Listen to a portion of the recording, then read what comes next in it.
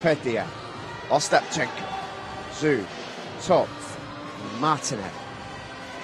This is the men's 50 metres freestyle S3 final. We mentioned it in the heats this morning. Diego Lopez Diaz seemed laser focused right from his very first heat. He knew what a big ask it was of him today.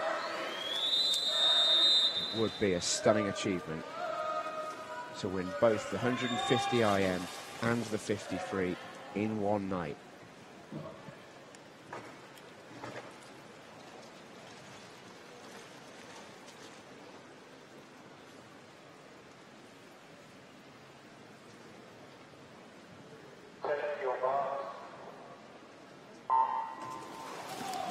Well, a variety of starts there. Only Huzayatov of Germany going off the diving block, and he's getting the best start here. He comes up and in the lead, but it is Diego Lopez Diaz in that center lane, going very well for Mexico, along with Denis Ostapchenko of the Ukraine, and the charge behind from Vincent Boni, Zou Liankang. But here it is the question can anybody stop the Mexican?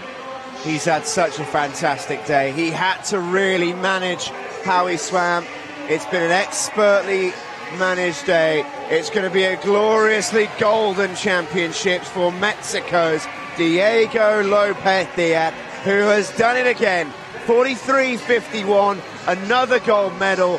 What a night for him.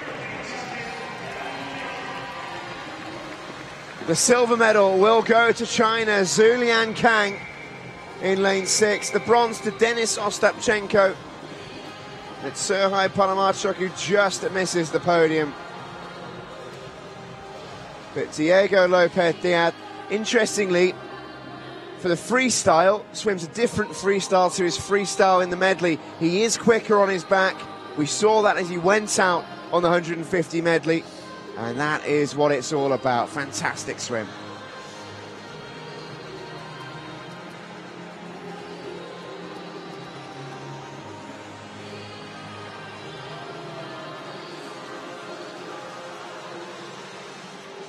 Confirmation of those results.